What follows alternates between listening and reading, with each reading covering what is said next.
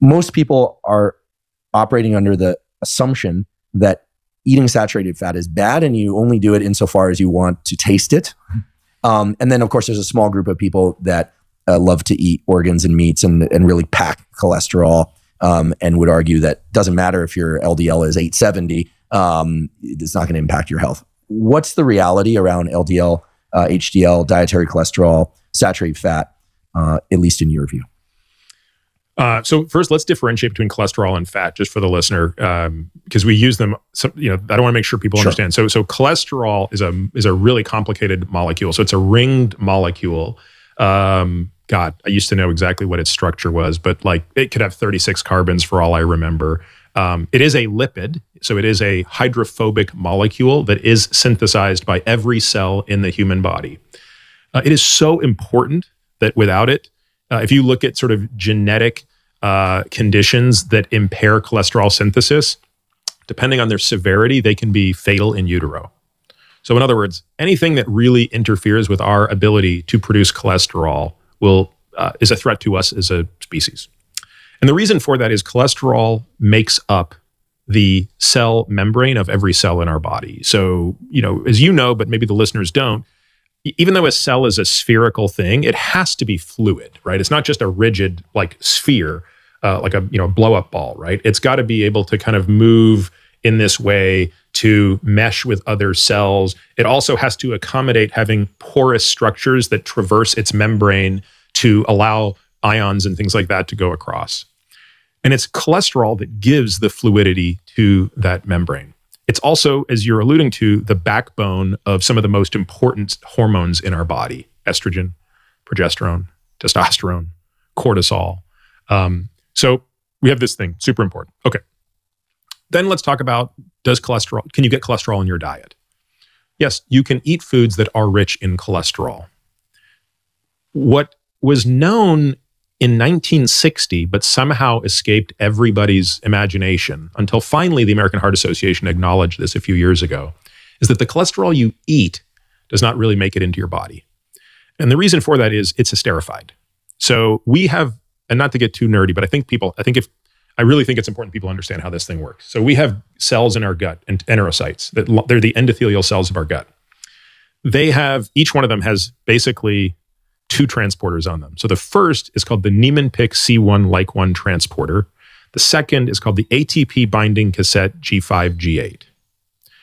Okay, the Niemann-Pick C1 like 1 transporter will bring in any sterol, cholesterol, zoosterol, phytosterol, any sterol that fits through the door will come in.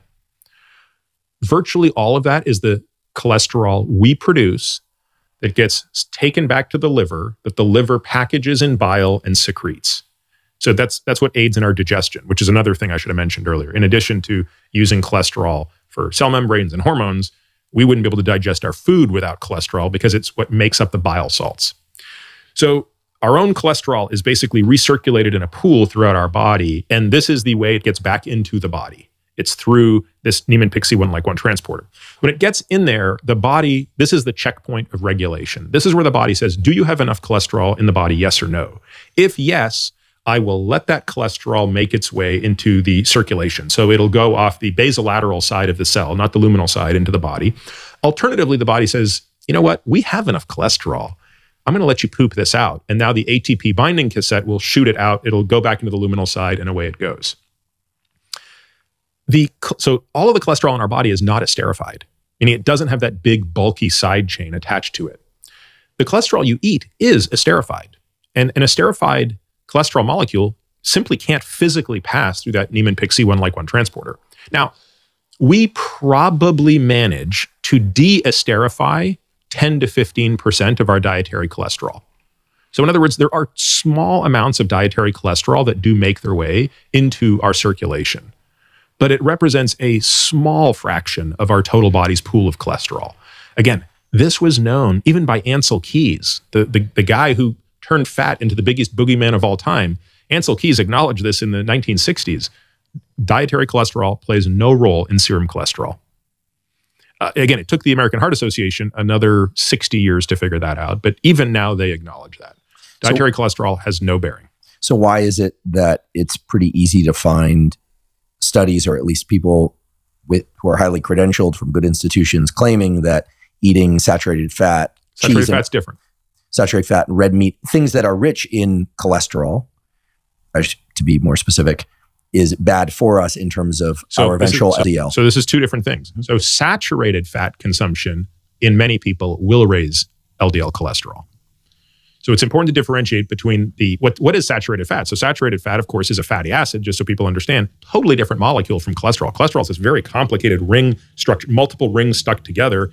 SFA, saturated fat, is just a long chain fatty acid that is fully saturated, meaning it has no double bonds, and it can exist in isolation. It can exist in a triglyceride, triacylglyceride, uh, or a, a, you know a phospholipid, or all sorts of things like that. So when we eat foods that contain fat, basically there are three distinctions for that fat. Is it saturated? Is it monounsaturated, one double bond, or is it polyunsaturated, two or more double bonds? The observation that eating saturated fat raises cholesterol is generally correct.